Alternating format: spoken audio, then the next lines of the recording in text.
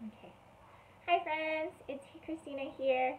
I'm going to do a short story, um, one of my favorites. It's called The Snowy Day by Ezra Jack Keats. Okay. The Snowy Day.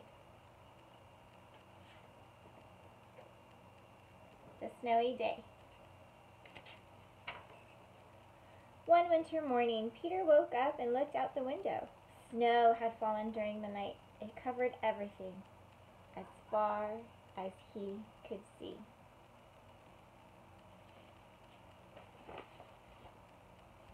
After breakfast, he put on his snowsuit and ran outside.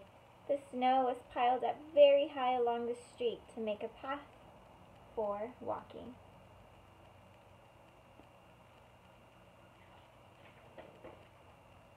Crunch, crunch, crunch, his feet sank into the snow. He walked with his toes pointing out like this. He walked with his toes pointing in like that.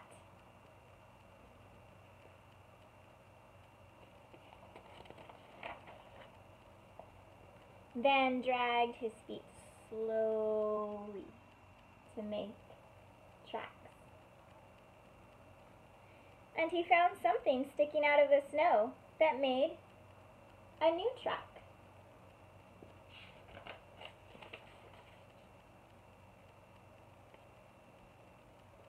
It was a stick.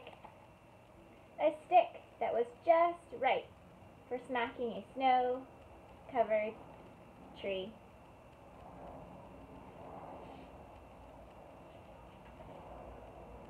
Down fell the snow, plop, on top of Peter's head.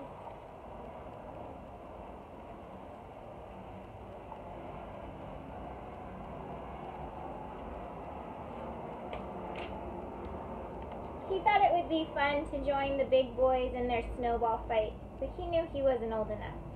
Not just yet.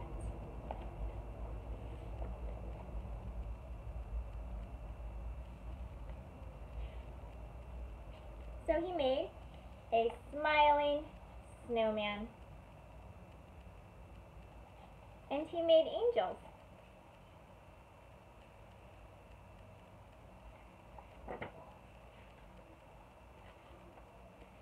He pretended he was a mountain climber. He climbed up a great big tall heaping mountain of snow.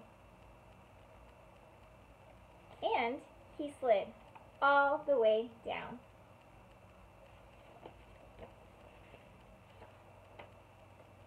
He picked up a handful of snow and another, and still another. He packed it round and firm, and he put the snowball in his pocket for tomorrow.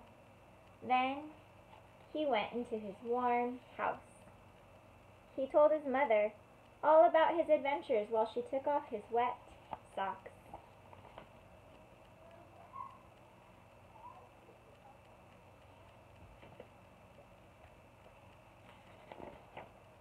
And he thought and thought and thought about them.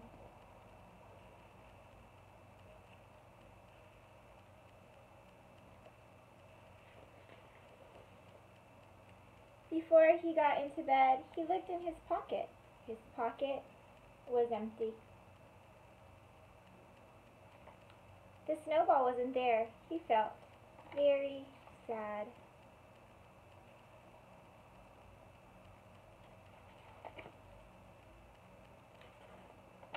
While he slept, he dreamed that the sun had melted away all the snow.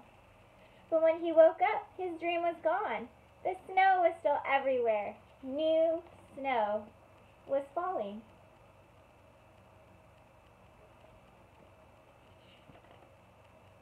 After breakfast, he called to his friend from across the hall, and they went out together in the deep, deep snow.